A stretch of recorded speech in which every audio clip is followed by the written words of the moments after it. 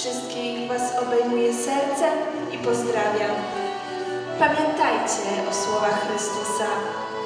Ja jestem bramą. Jeżeli ktoś wejdzie przeze mnie, będzie zbawiony. Nie lękajcie się iść w przyszłość przez bramę, którą jest Chrystus. Wierzcie Jego słowom, wierzcie Jego miłości. W Nim jest nasze zbawienie. Zanieście przyszłym pokoleniom świadectwo wiary, nadziei i miłości. Bądźcie wytrwali. Nie wystarczy przekroczyć próg. Trzeba iść w głąb. Chrystus jest bramą, ale jest też drogą, prawdą i życiem. Idźcie wiernie drogą Chrystusa w nowe czasy. Jezus Chrystus wczoraj, dziś i na wieki. Musicie być mocni, drodzy bracia i siostry. Musicie być mocni tą mocą, którą daje wiara. Musicie być mocni mocą wiary. Musicie być wierni. Dziś tej mocy bardziej Wam potrzeba niż w jakiejkolwiek epoce dziejów.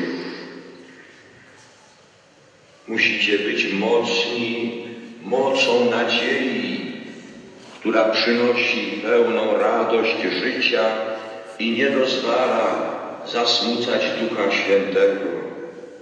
Musicie być mocni mocą miłości, która jest potężniejsza niż śmierć, jak objawił święty Stanisław i błogosławiony Maksymilian Kolbe. Musicie być mocni mocą miłości tej, która cierpliwa jest, łaskawa jest, która nie zazdrości, nie szuka poklasku, nie unosi się pychą, nie pamięta złego, nie cieszy się z niesprawiedliwości, tej miłości, która wszystko znosi, wszystkiemu wierzy, we wszystkim pokłada nadzieję, wszystko przetrzyma, tej miłości, która nigdy nie ustaje.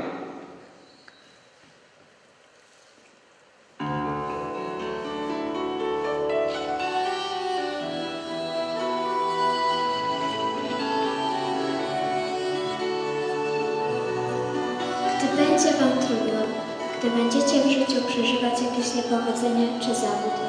Niech myśl wasza biegnie ku Chrystusowi, który was miłuje, który jest wiernym towarzyszem i który pomaga przetrwać każdą trudność. Wiedzcie, że nie jesteście samotni. Towarzyszy wam ktoś, kto was nigdy nie zawiedzie. Chrystus rozumie najtań, pragnienie waszego serca. On czeka na waszą miłość.